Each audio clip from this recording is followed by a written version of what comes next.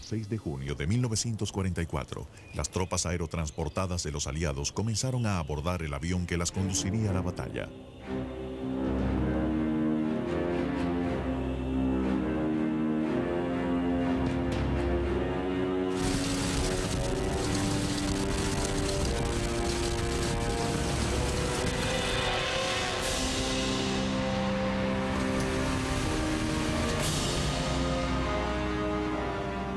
Que se arrojaban sobre la fortaleza Europa de Hitler, estos hombres sentían la sombría satisfacción de ser las primeras tropas aliadas en pisar territorio ocupado por el enemigo.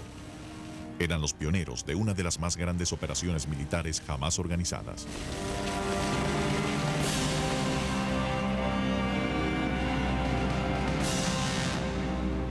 Operation Overlord, the Allied campaign to liberate northwest Europe, really had a double significance. Militarily, it represented the death knell for the German cause in the Second World War. Um, but politically, it was also extremely important. Had the Allies either stumbled at the first hurdle on the 6th of June 1944 or at some time later on in the campaign, the map of Western Europe would have looked very different from that with which we're familiar with today. From a technical point of view, though, Overlord is tremendously important because this was the first time that so many people and so much equipment was picked up and moved over the sea and dropped on shore against fierce opposition ever. Nobody had ever run an operation of this scale before.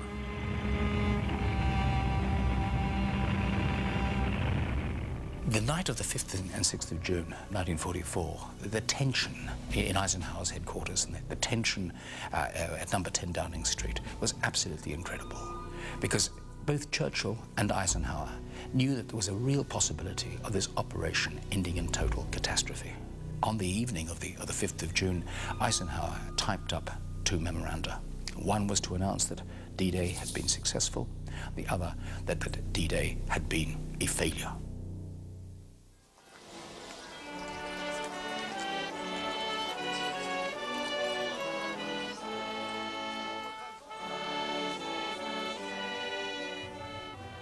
Actualmente, un servicio conmemorativo se lleva a cabo en honor de los paracaidistas que resguardaron la cabeza de playa en Normandía.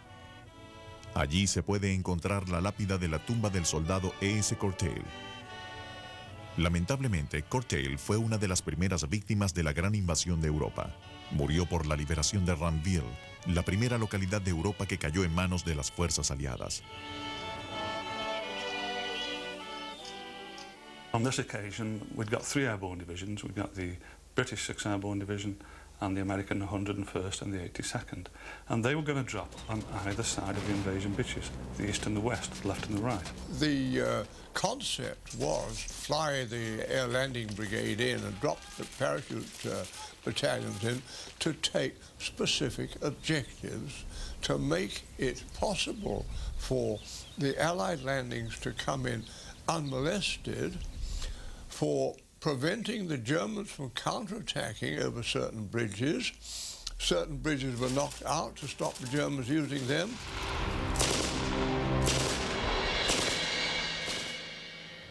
Aún hoy, la operación Overlord se cuenta como una de las más grandes y complejas operaciones militares jamás puestas en práctica. En la primera oleada del ataque a las playas de Normandía había más de 75.000 tropas canadienses y británicas y 57.000 estadounidenses. Los nombres claves de aquellas playas se convirtieron en referencias importantes en la historia militar. Utah, Omaha, Gold, Juno y Sword. On D-Day, approximately 156,000 Allied troops landed from the sea or dropped from the air into Normandy. Uh, that's approximately five divisions coming ashore on the beaches with three brigades and a further three airborne divisions. Defending against them, it's very much harder to be certain of the exact size of the German forces, but added up, it comes out at about five divisions, one of them armoured, plus a brigade. So in terms of land forces, the Allies are stronger, but not vastly stronger. Al otro lado del canal, los alemanes sabían que la invasión era inminente. Habían hecho considerables esfuerzos en preparar lo que Hitler, con optimismo, llamó el Muro del Atlántico, una línea de defensa constituida para garantizar la protección de la costa desde el Ártico hasta España. Las labores en el Muro del Atlántico comenzaron en 1942. Sin embargo, para principios de 1944 aún no estaba terminada. Si bien es cierto que había numerosos emplazamientos de artillería a lo largo de la costa, también debe decirse que no era una línea continua. A finales de 1943, el célebre veterano del desierto, Erwin Rommel, fue designado personalmente por Hitler para que inspeccionara las defensas del muro del Atlántico.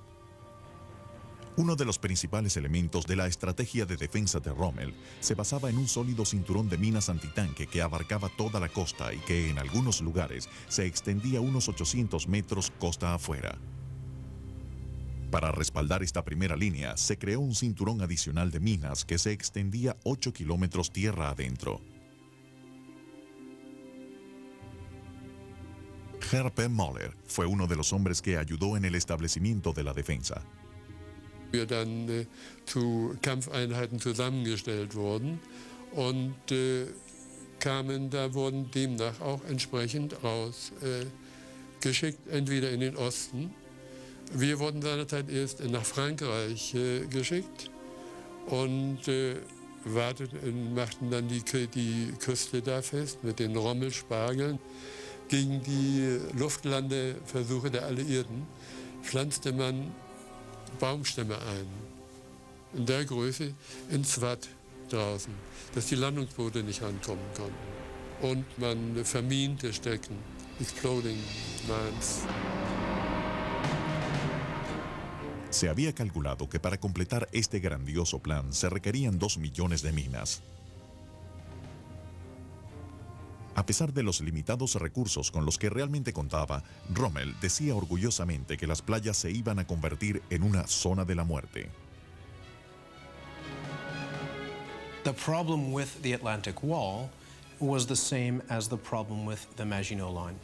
Once you get past the chain of fortifications, all of the effort and expenditure, all of those gun barrels that had been mounted in those fortresses instantly become useless. Nobody really expects defense lines to actually stop an attack dead. The defense lines are, are, there to actually slow down the attack, you know, maybe by 24, 48 hours, something like that, to allow you to move your reserves up so you can then put in the, the counterattack. Cuando llegó el momento de elegir qué playas se iban a invadir, las opciones se redujeron a aquellas que podían ser protegidas fácilmente por los aviones de combate ingleses. Un ataque a Holanda también fue descartado debido a la dificultad de capturar un puerto marítimo. La alternativa más lógica era el área de Pas-de-Calais, la cual se encontraba a unos 35 kilómetros de Dover. Constituía el cruce marítimo más corto, lo cual era obvio para los alemanes. Por tal motivo, era precisamente allí donde estaban concentradas las defensas más fuertes de la fortaleza Europa.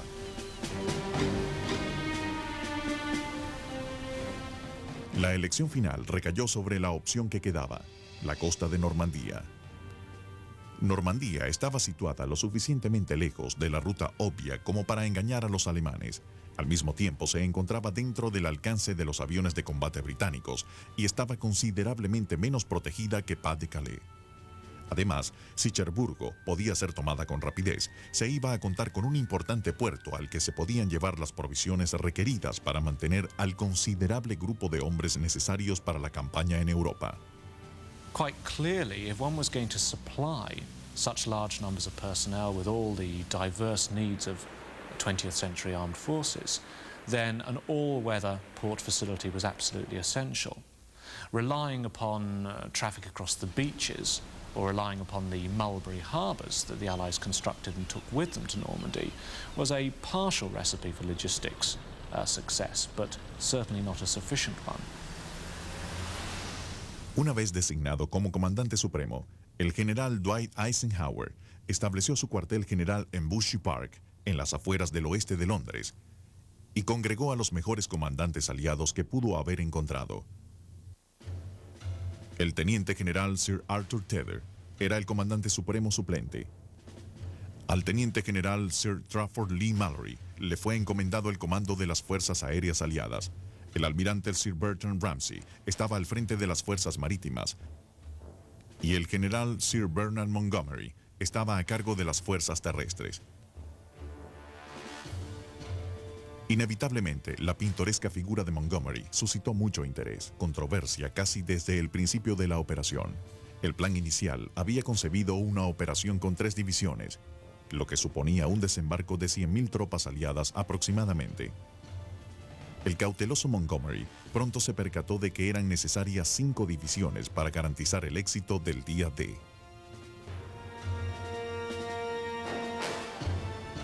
Según el plan general para la invasión de la Fortaleza Europa, nombre código Operación Overlord, las fuerzas británicas y canadienses debían apoderarse de las playas del este con el canal de Caen en su flanco izquierdo. Estas playas fueron llamadas Sword, Juno y Gold.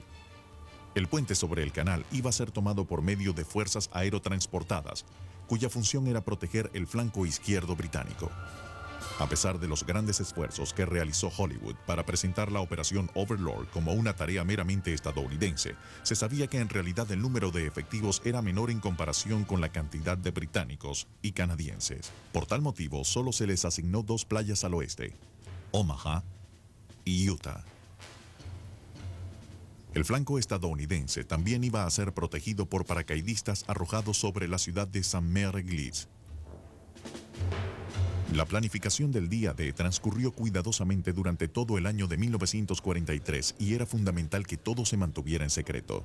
If the Germans had got wind of it, even 48 hours beforehand, D-Day would have been a catastrophe. There would have been nothing to have prevented the, the Germans diverting their forces, very, very substantial forces in the Pas-de-Calais, to the, the Normandy area. There was a huge deception plan to convince the Germans that the invasion was going to be in the Pas de Calais. Germans always believed it was going to be there, and we continued to allow them to think that way. We did not know that we were going into Normandy until I was handed sealed orders on the ship in which I was before sailing. Como resultado directo de la experiencia obtenida en el desastroso asalto de Dieppe en 1942, se diseñó una ingeniosa variedad de vehículos de asalto blindados, los cuales serían usados en el ataque real contra el muro del Atlántico de Hitler. El más importante de todos era una adaptación especial del tanque Churchill, cuya principal arma había sido reemplazada por un sólido mortero de 290 milímetros, conocido como petardo, este mortero podía disparar una gran carga explosiva y derribar defensas de concreto. Para sobrepasar grandes obstáculos, el tanque Churchill podía ser adaptado para que cargase un puente de metal con un alcance de más de 9 metros. En el caso de que la suave arena de las playas ocasionara dificultades para el paso de los tanques, se había desarrollado otra variedad del Churchill, que portaba un carrete, conocido como bobbin. This was usually a huge roll of canvas or some similar material, often reinforced with bars of tubular steel, and it was wound around a drum, and this drum is then fixed onto the front of the tank. And the, in principle, what it could do was unreel this thing, drive over it as it went along, and leave a pathway behind it. Los aliados crearon además dos importantes variantes del confiable tanque Sherman. El primero de ellos fue el Duplex Drive o tanque anfibio DD. Este carro usaba una cortina de lona plegable y una hélice en la parte trasera, lo que le permitía nadar hasta la orilla y alcanzar el agua poco profunda, desde donde podía neutralizar las posiciones antitanque enemigas. Para abrir senderos a través de los campos minados, se usaba una variable especial del Sherman, conocida como el cangrejo. Era un tanque con mayal, un dispositivo mecánico diseñado para golpear el área a su paso, usando cadenas de acero que hacían estallar cualquier mina que se encontrase en el camino.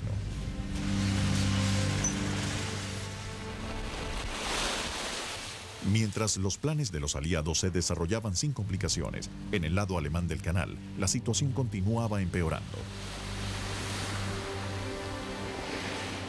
En calidad de comandante supremo, Adolf Hitler tenía injerencia en cada aspecto de las fuerzas a su cargo y tenía el hábito de reservar formaciones particularmente poderosas para su control personal. Como consecuencia, la situación en Francia era especialmente complicada. El comandante general asignado era von Rundstedt, quien tenía bajo su mando al Grupo B del Ejército, responsable del norte de Francia y Bélgica, y al Grupo G del Ejército, que se encargaba del control del sur de Francia. Sin embargo, Rommel, comandante del Grupo B, gozaba del favor de Hitler y había sido nombrado inspector general de todo el muro del Atlántico, con especial responsabilidad sobre la línea de defensa costera. Así, en la práctica, Rommel no recibía órdenes de von Rundstedt, aunque este era su superior. Para complicar aún más la situación, tres de las divisiones Panzer que operaban dentro del área de influencia de Rommel fueron asignadas a una formación separada, conocida como Grupo Panzer Oeste. Este poderoso grupo fue asignado como ejército de reserva y solo podía ser desplegado bajo estrictas órdenes de Hitler. Adolf Hitler believed in struggle. that the strongest man, the strongest beast, would emerge from a natural process of struggle, and he organized the Nazi state that way, so that the German command structure is not set up to cooperate with itself, it is set up as a series of competing structures which are meant to fight each other. And they did this so well that they defeated themselves as well as the Allies defeating them in Normandy. Rommel tenía la convicción de que la única forma de derrotar a la invasión aliada era combatiendo en las playas y repeliendo la invasión de vuelta hacia el mar. Por tal motivo, quería que las reservas acorazadas estuvieran tan cerca como fuese posible de las costas, para efectuar un rápido contraataque. Sin embargo, von Rundstedt no estaba de acuerdo con la estrategia de Rommel. Rundstedt reacted to the threat of Allied invasion in Normandy in a, uh, a, sound, conventional German Staff College way. Let the Allies come ashore, let them get inland where they can be encircled, and then destroyed in the traditional German battle of annihilation. And Rundstedt's concept required that the armor be held back, far away from the beach, so that once the Allies are ashore, they can be punched with a, uh, a heavy fist of armor. Now, Rommel disagreed fundamentally. He said, Rundstedt, you don't understand that if you don't have air superiority, you cannot count on being able to have that big battle of annihilation. Without air superiority, for instance, that big armored fist of yours is going to be destroyed on the railway tracks back in Paris by Allied air. You can't do it, says Rommel. Las luchas en la jerarquía de la Wehrmacht significaron el comienzo de los problemas para los alemanes en el día D.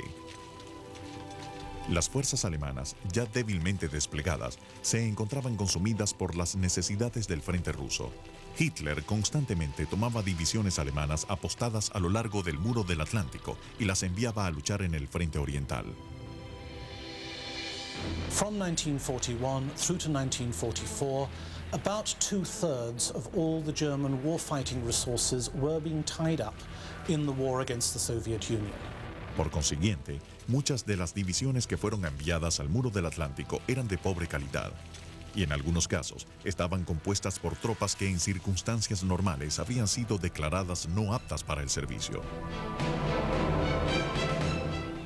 Aunque las fuerzas alemanas pudieron desplegar un pequeño número de divisiones altamente capacitadas y bien dotadas, también tenían una gran cantidad de unidades debilitadas, con escasos recursos y exiguo transporte. El 10% del Grupo B del ejército de Rommel ni siquiera estaba compuesto por alemanes. En las primeras líneas del día D, la cantidad de hombres no alemanes quizá fue del 25%. Estos hombres eran voluntarios de varios países ocupados por los alemanes, o bien prisioneros de guerra que se habían enrolado en el ejército alemán. Provenían principalmente de las repúblicas asiáticas de la Unión Soviética y fueron usados como carne de cañón en el frente durante el día D.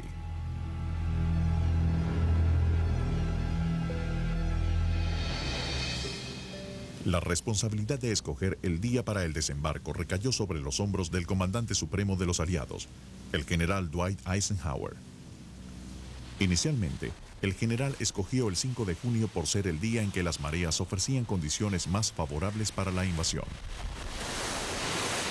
Durante el desembarco del día D y hasta 32 kilómetros tierra adentro, las fuerzas aliadas pudieron contar con las inmensas armas de los acorazados aliados, los cuales eran capaces de disparar devastadoras descargas de artillería pesada en contra de las fuerzas alemanas. 5:35 o'clock and to 800 warships the signal commence bombardment, sweep the beaches. Durante los primeros días de la campaña de Normandía, los aliados contaron con el apoyo de nueve acorazados, 23 cruceros y 73 destructores.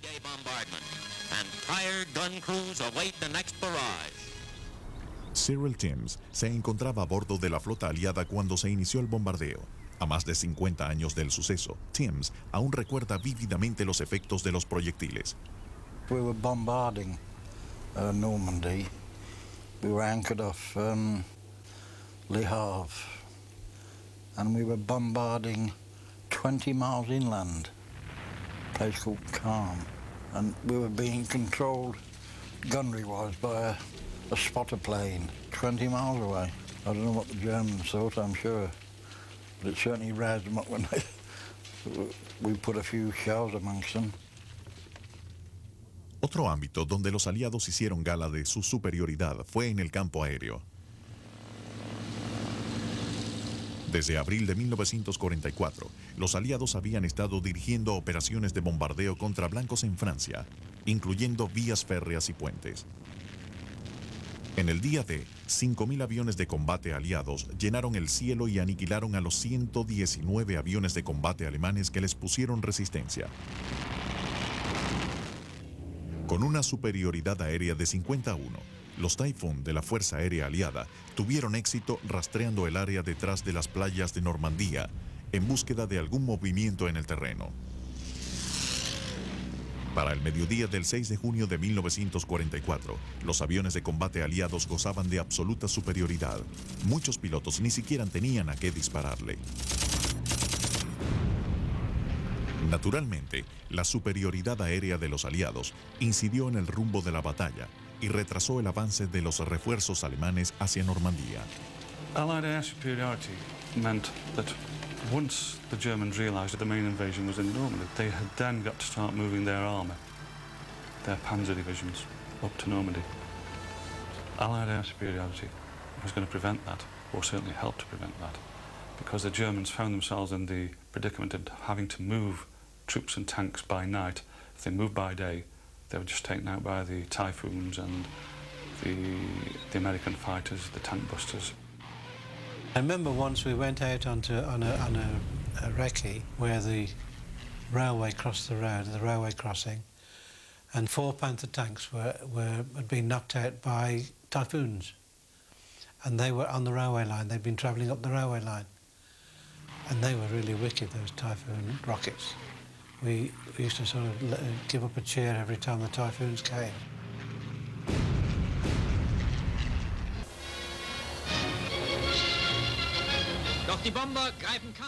En lo que a experiencia se refiere, las tropas alemanas tenían ventajas sobre los aliados, lo que compensaba las numerosas desventajas que enfrentaron en su lucha en el terreno de Normandía. Muchas de las divisiones Panzer que serían usadas para enfrentar a los aliados contaban con tropas muy experimentadas que habían sobrevivido a cuatro años de guerra brutal. Esta experiencia los dotó de una resistencia mental que les sería muy útil durante la inminente batalla. Entre estas divisiones se encontraban algunas formaciones realmente imponentes, como la SS Leibstandarte y la división Panzerlehr. The Leibstandarte Adolf Hitler, the 1st SS Panzer Division, was a formation which, like other SS units, was very, very well stocked. Because the SS had its own chain of command, and because Heinrich Himmler was so close to Hitler and so personally powerful, the SS divisions, like the Leibstandarte Adolf Hitler, were very well supplied with people. They were very well supplied with tanks, uh, well fed, well fueled, uh, compared to the rest of the German army. Like so many of the German armoured formations committed to the fighting in Normandy, the Panzer Lehr, or demonstration division, was an extremely capable fighting formation. It was well equipped with something like 200 tanks, many of them modern Panthers, which were probably superior to most of the Allied tanks at that time. In addition, it was made up of personnel drawn primarily from training establishments. So these were officer and NCO cadres and specialists who had extremely uh, prolonged experience on fighting on, for example, the Eastern Front. So these were very capable personnel. Brigadeführer Witt, der Kommandeur der SS-Division Hitlerjugend. Una de las divisiones que se destacó en los anales de la guerra fue la Juventud Hitleriana, compuesta por fanáticos, simpatizantes del partido nazi. La edad de sus miembros rondaba los 18 años. This division was formed in, in October 1943, and it was, it was known as the, the, the, the Hitler Youth Division, uh, the 12th SS Panzer Division, uh, as it became.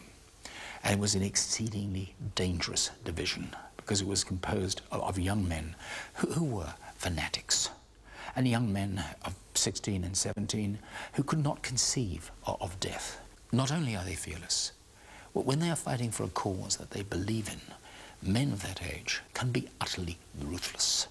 They have no capacity to empathize. Un área en la que los alemanes gozaban de notable ventaja era la calidad de los carros blindados.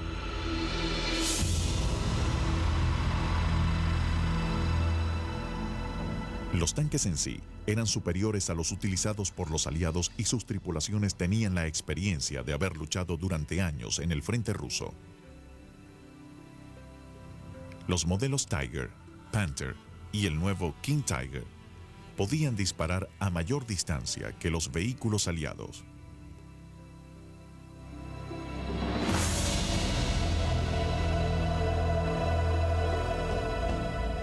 The German tanks came from the German tradition of precision engineering and excellent design. And they were technically brilliant, the German tanks. And by 1944, many of them were armed with 88 millimeter high velocity guns, which could punch through Allied tanks like a hot knife through butter.